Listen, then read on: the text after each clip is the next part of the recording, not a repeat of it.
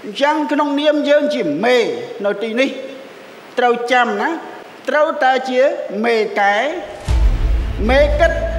និងមេគុណកុំឲ្យคล้ายទៅជាមេចែកមេកែមេគិតនិងមេគុណ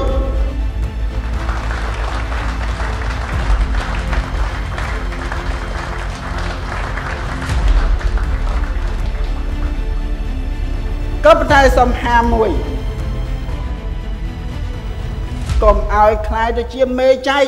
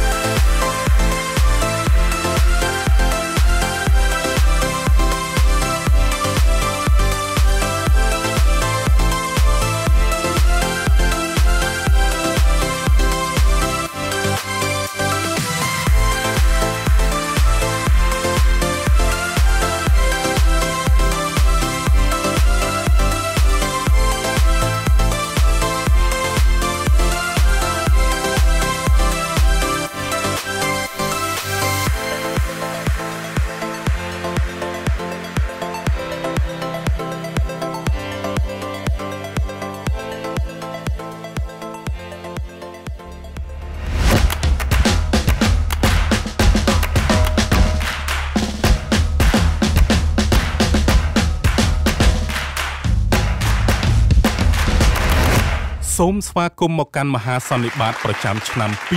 2022ក្នុងខេត្តបាត់ដំបង។